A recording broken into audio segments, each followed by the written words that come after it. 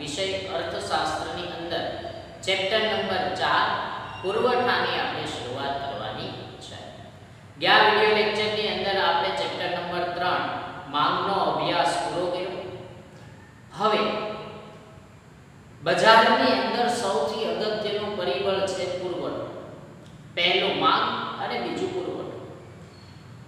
કે જો વસ્તુ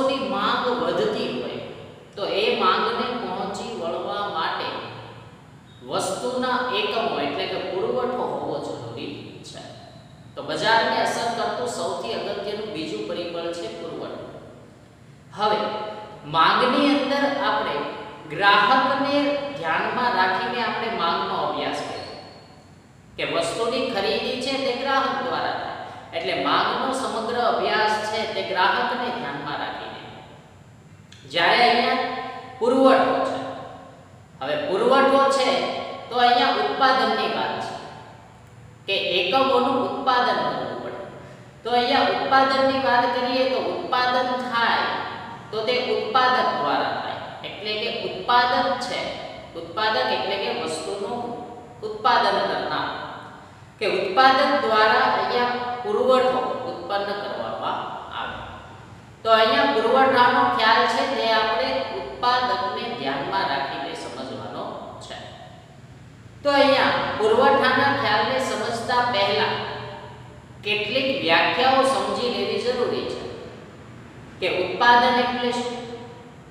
જથ્થો એટલે શું? અને પુરવઠો એટલે શું? કે ઘણા બધા લોકો આ ત્રણેય શબ્દોને એક જ માને છે. પરંતુ અર્થશાસ્ત્રની અંદર આ ત્રણેય શબ્દોની વ્યાખ્યા અલગ છે. તો તેને સમજવાનો આપણે પ્રયત્ન કરીએ. તો સૌથી પહેલા વ્યાખ્યા આપી છે ઉત્પાદનની પ્રોડક્શન ઉત્પાદન કોને કહેવાય? તો વ્યાખ્યા જોઈએ, ચોક્કસ સમય ઉપલબ્ધ સાધનો દ્વારા કે જે ઉત્પાદન કરવા માટે સાધનો આપણી પાસે છે. તે સાધનો દ્વારા જેટલા પ્રમાણમાં વસ્તુઓ ઉત્પન્ન થાય, તેને કહેવાય ઉત્પાદન. કે ચોક્કસ સમય. ચોક્કસ સમયે ઉપલબ્ધ સાધન કે ઉત્પાદક પાસે જે કાંઈ પણ સાધનો પડ્યા છે કે હાલમાં તેમની પાસે ઉત્પાદન કરવા માટે કાચો માલ છે વીજળી છે, પાણી છે, જે કાંઈ પણ સાધનો પડ્યા છે, એ સાધનો દ્વારા જેટલા પ્રમાણમાં વસ્તુઓ ઉત્પન્ન થાય, તેને કહેવાય ઉત્પાદન.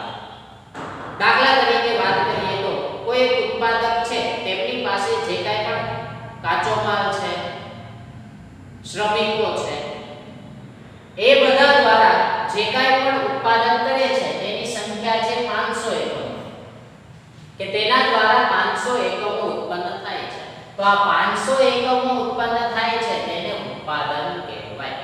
આગળ, ઉપલબ્ધ સાધનો દ્વારા ઉત્પન્ન થયેલી વસ્તુઓનું પ્રમાણ. તેને કહેવાય ઉત્પાદન. કે ઉત્પાદક પાસે જે કાંઈ પણ સાધનો છે, તેના દ્વારા જે કાંઈ પણ વસ્તુ ઉત્પન્ન થઈ છે, તેનું પ્રમાણ તેને કહેવાય ઉત્પાદન. એટલે કે 500 એકમો. ઉદાહરણ આપણે લઈએ છીએ. ત્યાર આપણો પાઠ છે ચોથો પુરવઠો. તો પુરવઠાની વ્યાખ્યા છે, એક માર્ક્સમાં પૂછાય છે, જોઈએ તો.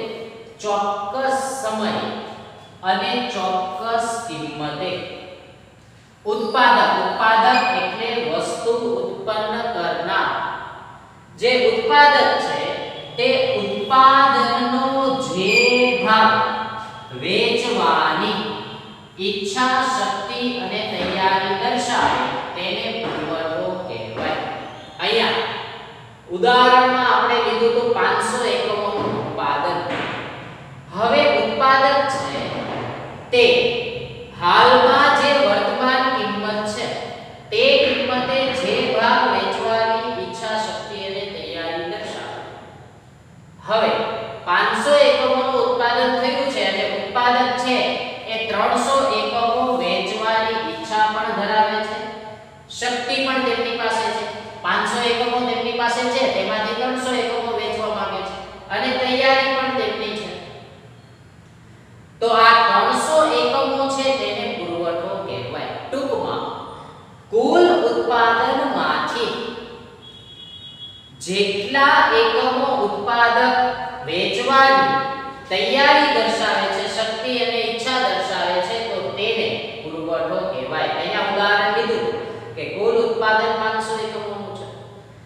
તેમાંથી ઉત્પાદક ચોક્કસ સમયે અને કિંમતે 300 એકમો વેચવાની ઈચ્છા શક્તિ અને તૈયારી દર્શાવે છે. તો આ 300 એકમો છે તેને પુરવઠો કહેવાય. ત્યાર પછી વાત કરીએ જથ્થો. કે જથ્થો એટલે શું? કે વસ્તુના કુલ વેચાણક્ષમ એકમોનું પ્રમાણ વેચાણક્ષમ એટલે કે વેચાણ થઈ શકે તેવા કુલ એકમોનું પ્રમાણ તેને કહેવાય જથ્થો ઉત્પાદન 500 એકમોનું થયું.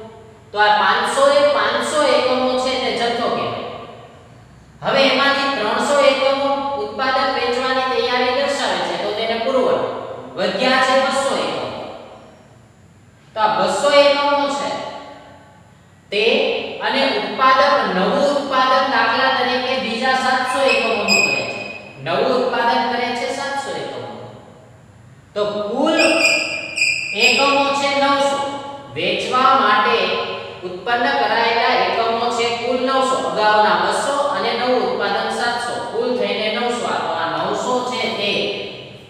જથ્થો કહી શકાય. તો અહીંયા ઉત્પાદન, પુરવઠો અને જથ્થો. તેની આપણે વાત કરી. ઉત્પાદન શું છે? કે ઉત્પાદક પાસે જે કાંઈ પણ સાધનો છે તેના દ્વારા જે કાંઈ પણ વસ્તુ તેમણે ઉત્પન્ન કરી છે તેનું પ્રમાણ તેને કહેવાય ઉત્પાદન પુરવઠો શું છે કે કુલ વસ્તુનું ઉત્પાદન થયું છે તેમાંથી ઉત્પાદક જે વસ્તુઓ વેચવાની ઈચ્છા શક્તિ અને તૈયારી દર્શાવે છે. તેને કહેવાય પુરવઠો. અહીંયા આપણે ઉદાહરણ લીધું હતું 300 કે 500 માંથી ઉત્પાદક એવું વિચારે છે કે 300 એકમ આપણે વેચવા તૈયાર છીએ. તો 300 છે તે પુરવઠો છે. 500 માંથી 300 વેચવા તૈયાર છે વધ્યા 200 અને ઉત્પાદક નવું ઉત્પાદન કરે છે 700 તો ઉત્પાદક પાસે કુલ જે છે વેચવા માટેના એકમો તે થયા 900 તો તેને કહેવાય જથ્થો હવે વાત આપણે કરવાની છે કે પુરવઠો અને જથ્થો આ બંને વચ્ચે શું તફાવત છે કે સામાન્ય રીતે પુરવઠો અને જથ્થાને ઘણા બધા લોકો એક જ સમજે છે પરંતુ અર્થશાસ્ત્રમાં બંનેના અર્થ અલગ અલગ છે કે પુરવઠો અને જથ્થો તો તેને પહેલા સમજવા માટે જથ્થો કોને કહેવાય તેની વાત કરીએ તો વર્તમાન કિંમતે વેચવાની તૈયારી હોય. દાખલા તરીકે વાત કરીએ, એક એકમની કિંમત 100 રૂપિયા છે. ઉત્પાદક પાસે કુલ 500 એકમો છે. 500 એકમોમાંથી ઉત્પાદક 300 એકમો વેચવાની તૈયારી દર્શાવે છે. તો આ 300 એકમો છે તે પુરવઠો છે. આગળ, અને વેચવાની તૈયારી ન. 500 માંથી 300 વેચવાની તૈયારી છે. 200 વેચવાની તૈયારી નથી. એવા કુલ એકમોનું પ્રમાણ, એવી વસ્તુના તમામ એકમોનું પ્રમાણ એટલે જથ્થો. વેચવાની તૈયારી હોય તેવા એકમો હતા 300 100 રૂપિયા કિંમતે ઉત્પાદક 300 એકમો વેચવા તૈયાર છે અને 200 એકમો વેચવા તે તૈયાર નથી તો કુલ એકમો થયા 500 તો આ 500 છે તે જથ્થો દર્શાવે છે કહેવાનો મતલબ કે ઉત્પાદક જે વસ્તુઓ વેચવા તૈયાર છે તે અને જે વસ્તુઓ વેચવાની તૈયારી તે દર્શાવતો નથી તેવા કુલ એકમોનું પ્રમાણને કહેવાય જથ્થો આગળ આવ્યું છે, ઉત્પાદકની વસ્તુ વેચવાની શક્તિ એટલે જથ્થો. વસ્તુ વેચવાની શક્તિ, એને કહેવાય જથ્થો. હવે અહીંયા 500 એકમો વેચવાની ઉત્પાદક શક્તિ ધરાવે છે.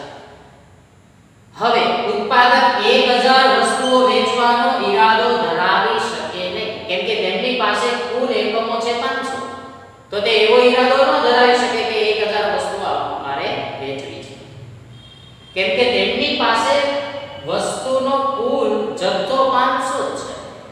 તો તેમની વેચવાની શક્તિ 500 એકમોની છે.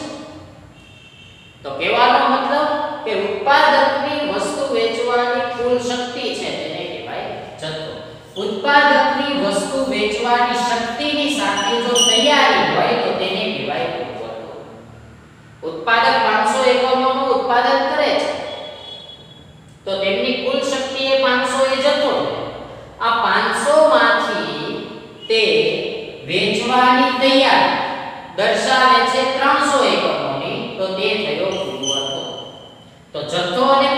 બંને અલગ છે. પુરવઠો છે તે જથ્થા કરતા ઓછો હોઈ શકે છે. સ્વાભાવિક છે કે કુલ વસ્તુના એકમોમાંથી ઉત્પાદક જો 500 એ 500 વસ્તુઓ વેચવાની તૈયારી દર્શાવે, જો જથ્થો થઈ ગયો છે અને પુરવઠો પણ 500 થયો ઉત્પાદક 500 માંથી 300 એકમો વેચવાની તૈયારી દર્શાવે તો 300 થયો પુરવઠો તો કુલ જથ્થા કરતા પુરવઠો ઓછો હોય છે. હવે સમજીએ. કુલ એકમો 500 એમાંથી વેચવાની તૈયારી 300 તો વધ્યા છે 200 હવે ઉત્પાદક નવું ઉત્પાદન કરે છે 700 એકમો. તો પહેલાના 200 પ્લસ નવા 700 એટલે ટોટલ હવે ઉત્પાદક પાસે એકમો રહ્યા 900 તો આ 900 એકમો જે રહ્યા છે તે જથ્થો છે આ 900 માંથી ઉત્પાદક 500 એકમો વેચવાની તૈયારી દર્શાવે તો આ 500 એકમો છે તે પુરવઠો છે તો પુરવઠો છે તે હંમેશા જથ્થા કરતા ઓછો હોઈ શકે છે પુરવઠો ક્યારે જથ્થા કરતા વધે નહીં તો અહીંયા આપણે વાત